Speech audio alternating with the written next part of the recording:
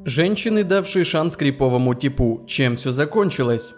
Быть магнитом для кринжовых мужиков – мое все. Первое. Познакомились с парнем в парке. Я сразу поняла, что не очень хочу знакомиться, но была слишком молода, чтобы деликатно отшить. Наплела про себя всякого, мол, зовут меня Алина, на самом деле нет. Учусь в местном универе на экономе, совсем не близко. Ну и левый номер, конечно же. Спустя неделю данный персонаж начал атаковать университетские паблики и искать меня. После десятка сообщений от знакомых пришлось написать и уже отшить жестче. Вишенкой на торте стала встреча с ним на выходе из универа. Стоит такой с цветами, пришлось вернуться в корпус и выйти через другой выход. Второе. Познакомилась с парнем в интернете. Общались не часто, но довольно продолжительное время. Вечер пятницы. У меня сорвалась встреча с друзьями. Сижу, грущу, тут пишет этот парень, мол, как дела? Я рассказала, и он попросился в гости. Было немного крипово, так как обычно я стараюсь в первый раз встретиться на нейтральной территории. Согласиться на его приезд ко мне было тупейшим решением. Меня сразу оттолкнула его внешность. Неухоженный парень с запахом изо рта, жидкой бородой и огромной залысиной. Ладно, подумала я, парень не выбирал себе залысины и жидкую бороду. В конце концов, я же не собираюсь встречаться с ним. Убеждал меня внутренний голос. Мы ужинали, он странно шутил, я старалась поддерживать разговор. Мы залипли в кино, и тут он решил подсесть ко мне поближе. И через какое-то время, минут 5-7, меня поразил ужасный запах. Он пернул, сидя рядом со мной. Он смотрел на меня щенячьими глазами и улыбался, а я охуела. Вышла, сославшись на звонок, а вернувшись, предложила ему уйти, мол, устала, пора спать. Он давай ныть, что живет на другом конце города и давай уговаривать остаться у меня. Все мои просьбы уйти пропускал мимо ушей. В итоге я уснула на диване, а проснулась, потому что он начал меня целовать. В итоге мне удалось выставить его за дверь. В дальнейшем он еще пытался писать и звонить с левых номеров, но домой, к счастью, не заявлялся.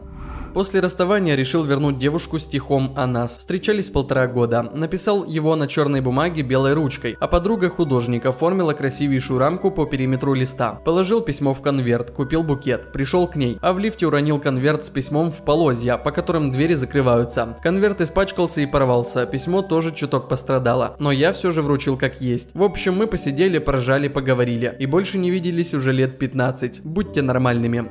Не совсем криповый изначально был, но встречалась с парнем, который не умел пить, а когда напивался, вел себя агрессивно. Бросила после случая, когда писал мне в 3 плюс-минус часа ночи, когда я спала, и из-за того, что не отвечала, начал писать угрозы о том, как изобьет меня, как найдет утром и кучу оскорблений. И после расставания преследовала, угрожал столкнуть под машину. Фоткал тайно, мол, я тебя вижу, бойся. Самое смешное, что были те, кто считал, что я обязана была не бросать его и помочь с его болезнью. Ага, пошел нахер. Мы встречались всего пару месяцев, и такое счастье мне мне не нужно. Не хватало еще оказаться в криминальных сводках.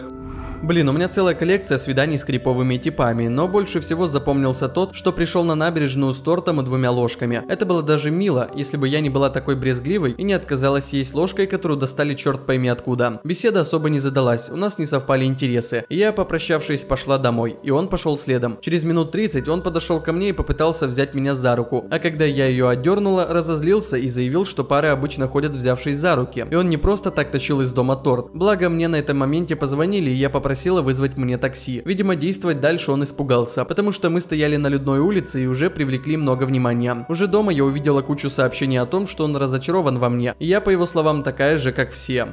Когда мне было 20, мы жили с моим парнем. Сначала все было хорошо, но потом он начал пить. Один раз он порезал при мне свою руку. Порез был глубокий, он пролежал в больнице неделю. Его родственники считали, что это я его порезала. Я решила с ним расстаться, но мне было его жалко. А зря. Потому что потом он пытался меня задушить и бегал за мной с ножом. Когда я ушла, он зачем-то заявился к моей бабушке и сказал, весь ваш род будет проклят. Но на этом не закончилось. Он постоянно угрожал мне. Он плакал, говорил, какая я хорошая, получая в очередной раз отказ. Но он снова угрожал. Даже когда он ушел в армию, он и оттуда мне угрожал. Сейчас прошло уже много лет, он женился, у него ребенок, но все равно периодически он появляется в какой-нибудь соцсети и предлагает встретиться. Я его блочу. Да, и обращения в полицию не помогали. Мне говорили что-то типа из разряда «нет тела, нет дела». Я познакомилась в Дайвинчике с парнем. Тогда я еще не встречала криповых типов и не умела их идентифицировать. В общем, он оказался не особо симпатичным, прыщавым, с длинными неухоженными волосами и кривой осанкой. Мы болтали и гуляли вместе. У нас нашлись общие интересы в сфере программирования, да его опыт был довольно большим. Мне было интересно его слушать, но исходя из его ужасной неухоженности, последнее, что я бы хотела, это встречаться с ним, о чем сразу же и сказала. Он вроде как согласился, но на самом деле нифига. Каждую нашу встречу он заливал мне, что он одинок и несчастен, Я ему предлагала найти друзей, но он одно. Мне не нужны друзья, мне нужна девушка. Я говорю, но я с тобой встречаться не буду. И так по новой. На прощание я всегда обнимаюсь, но он во время стандартных обнимашек, которые я бы назвала натянутыми, лез с поцелуем. Я еле увернула губы, и он пришелся на щеку. После я опять напомнила, что не хочу с ним встречаться. Кроме всего прочего, неухоженной внешности, отсутствия друзей, непонимания слова «нет», он еще и страдал анорексией. Он мог по несколько дней ничего не есть, пока не свалится в голодном обмороке. Притом он еще с такой гордостью это рассказывал, будто какое-то достижение. Еще у него была какая-то мутная история с бывшей девушкой. Типа она ему изменила, в чем я уже сомневаюсь. И он ей отомстил, взломав ее страницу, выложив материалы, из-за которых ее выгнали из института. О чем он тоже рассказывал с большой гордостью. К тому моменту я уже поняла, что лучше с ним не связываться. Но была проблема с тем, что у меня была парочка его плат Arduino, и он угощал меня пару раз. Я попыталась с ним разойтись по-хорошему, но он закатил истерику, угрожал самовыпилом. Я чуть ли не пересралась от страха, а на следующий день он написал, как ни в чем не бывало. Тогда я решила уйти по-тихому. В общем, я угостила его в ответ на нашей очередной встрече и вернула платы. Потом мы разошлись, и я заблочила его в соцсети. Он написал с фейка. Я сказала, что не хочу больше общаться и заблочила фейк. Он с другого. В общем, у него было 5 фейков. Плюс написала его сестра, такая же отбитая на голову, если это правда была сестра. Сказала, что вот он опять жрать не будет. В прошлый раз после его расставания мы еле его откачали. Я заблочила и ее тоже. Но это попало в беседу моего проекта. Ссылка была в моей группе и начала при всех поливать меня грязью. Мы из-за меня вступились, эту дуру я исключила. Но я все еще боялась взлома и мести. Поэтому пришлось сменить страницу и поставить на новый двухэтапную аутентификацию. Да и то меня параноило несколько месяцев. Нафиг таких парней. В 16 я встречалась с парнем, который был на 6 лет старше меня. Меня не смущала разница в возрасте, и он меня очень любил, уделял много внимания и так далее, но был в некотором роде раздолбаем. Позже, когда я поняла, что это не тот человек, с кем мне хотелось бы и дальше встречаться, начался трэш. Он постоянно написывал мне, следил за мной возле моей школы и у дома, спрашивал у подруг, где я нахожусь, манипулировал тем, что спрыгнет с моста в реку или закинется таблетками. Такое и вправду было. В конце концов, мне удалось разойтись с ним практически мирно. Хорошо, что после школы я уехал уехала очень далеко от своего родного города, потому что будь я ближе, он мог бы поехать следом за мной и продолжить преследовать. Мы давно не общаемся, надеюсь за эти годы он вырос и поумнел.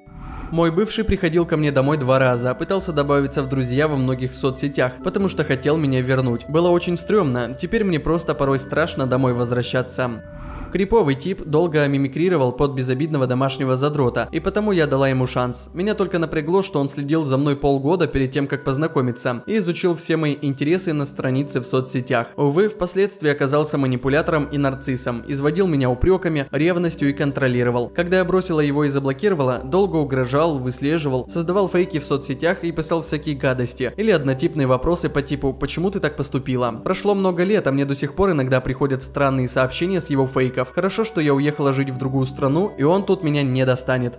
Это был друг детства. После одного случая мы перестали общаться. Когда я пришла в парикмахерскую, по счастливой случайности встретила его там. Он смотрел на меня со злостью, но я не придала этому значения, ссылаясь, что он обижен на меня. Когда я уже шла домой, то заметила, что он идет за мной. Я ускорила шаг, и он тоже. Я успела добежать до подъезда, но ключи от домофона никак не хотели работать и открывать дверь. Он догнал меня, грубо схватил за шею и начал душить. Так длилось минут пять, пока я не начала терять сознание, и он отпустил меня. А на этом все, если видео вам понравилось, обязательно ставьте лайки и подписывайтесь на канал. А также, если не сложно, оставляйте комментарий более чем из четырех слов. Это очень поможет продвижению данного ролика в рекомендации. Большое спасибо за просмотр, всем пока!